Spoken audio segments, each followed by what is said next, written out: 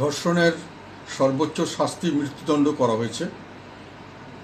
এই বিষয়ে আমি মাননীয় প্রধানমন্ত্রী, মন্ত্রিপরিষদ সদস্যবৃন্দ এবং মহামান্য রাষ্ট্রপতিকে ধন্যবাদ জানাচ্ছি। জনগণের প্রত্যাশা পূরণে ওনারা এই কাজটি করেছেন। আমরা গত ছয়ই অক্টোবর এই দাবিটি সর্বপ্রথম উত্থাপন করেছিলাম এবং সেই অনুযায়ী আজকে এটি বাস্তবায়িত হলো।